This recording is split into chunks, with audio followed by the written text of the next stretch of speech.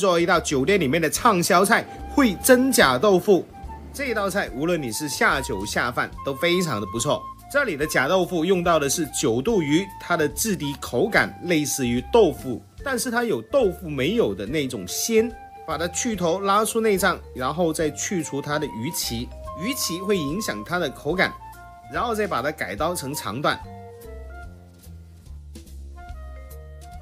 嫩豆腐把它去除表面那一层硬衣，这一步的作用是让豆腐的口感能达到一致。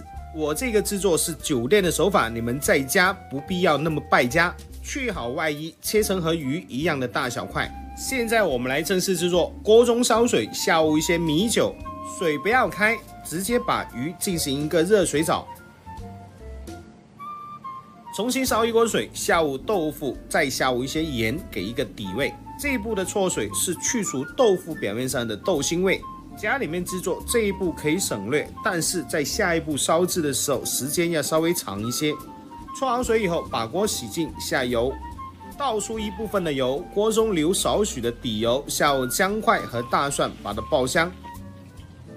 看到姜和蒜有少许的微黄，就可以出锅。再把姜蒜回锅，下入米酒和酱油，进行一个炝锅蒸香。再下入适量的水，淹没过豆腐和鱼的水量就可以了。给上少许的蚝油和糖进行调味。先下入豆腐垫底，然后再下入鱼。一定要记住这一个步骤。如果鱼块在底部的话，它很容易变烂。下好主料以后，给上几条的葱段，盖上盖子，烧到二十秒左右。家庭的话要烧它一分钟。这时候你会闻到很香的味道。然后持续大火收汁，让鱼和豆腐有一个融合，把芡汁收到浓稠就可以出锅。这一道菜按照我这个做法，真的是鲜到可以掉舌头了。喜欢吃辣的可以下两根的干辣椒一起烧制。这个做法豆腐和鱼一样的鲜。